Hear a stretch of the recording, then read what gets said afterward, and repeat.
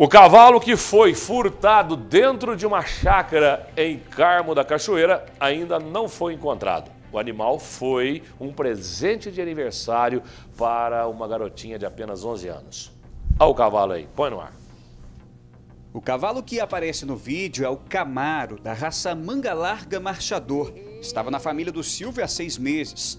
Tempo suficiente para pegar amor no bicho que era manso, viu? Segundo ele, amava a criança.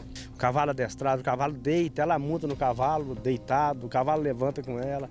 É uma criação que parece que parece que vira membro da família também, entendeu? O animal ficava nesse pasto em Carmo da Cachoeira. A filha do Silvio, a pequena Maria Carla, de apenas 11 anos, está muito abatida. Come mal, dorme mal, nem ânimo para ir à escola a garota tem. Foi um presente de aniversário. Eu vim aqui quase todas as, as semanas. Aí eu vinha, brincava com ele, dava trato para ele, água. Aí eu andava nele, meu pai deixava ele deitar, aí eu subia nele, aí era uma convivência como se fosse uma pessoa que fosse um parente para mim, mas aí aconteceu isso e ficou me deixando abalada. É difícil, vamos ver o que vai acontecer, né? Acho que a gente postando aí, ajudando aí. Trouxe o SBT que vocês aqui para me ajudar, entendeu? Às vezes vocês localizam esse cavalo, às vezes alguém vê esse cavalo na mão de outra pessoa, fala, você comprou esse cavalo? Ou esse cavalo é o que passou na alterose, esse cavalo é o que passou lá. Aí a pessoa vai falar, eu, eu comprei um cavalo roubado. O Silvio acredita que o furto tenha acontecido na madrugada do dia 31 de maio para o dia 1 de junho. Isso porque ele veio à noite aqui na chácara e o animal estava lá no pasto se alimentando como fazia todos os dias normalmente. Ainda de acordo com o Silvio, o suspeito teria aberto essa porteira aqui, que inclusive já está no chão, e pegado o sentido rumo à estrada. Não é descartado que mais pessoas estejam envolvidas nessa ação criminosa. E daí sim, tendo acesso à estrada, o suspeito ainda teria aberto essa porteira e fugido com o Camaro, sentido a rodovia Fernão Dias.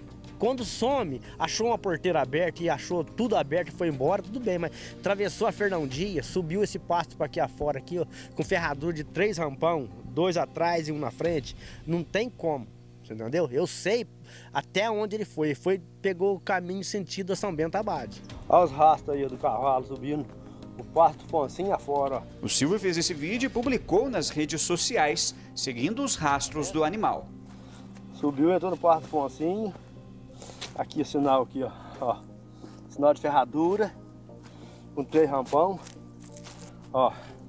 Tô seguindo pra ver onde vai, mas vai baixar esse cavalo, se Deus quiser. Fica um pouco nervoso, fica. Não sei, não sei como é que chama isso que dá na gente. Se é emoção, se é. se tem outro nome, é. É, é tristeza misturado com angu, eu não sei o que, que é isso, entendeu?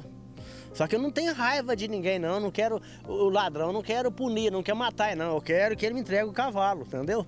Quem vai, quem vai fazer alguma coisa deve ser a justiça. Eu não, não sou, eu não sou ninguém para fazer nada com ele. Porque hoje tudo que você faz aqui, você paga aqui, então eu não quero fazer nada de ruim com ele, não. Eu quero apenas que ele me devolva esse cavalo. Entramos em contato com a Polícia Militar de Carmo da Cachoeira. Um boletim de ocorrência foi registrado e os militares ainda seguem no rastreamento. Cada dia você tem uma informação, mas aí não, não, não, eu tô cansado de andar. Entendeu? Já, já andei muitos quilômetros por aí atrás desse cavalo, já a redondeza aqui já, já coloquei nos Facebook, no, no, nos amigos meus, tá tudo me ajudando, mas não, não, até agora não, tem pista não. Era como um irmão para mim, ele convivia comigo muito. Ele era o único cavalo, é o primeiro cavalo que eu já tive na vida minha. E é difícil, né? Olha, o Silvio, que é o pai dessa menina que está desesperado.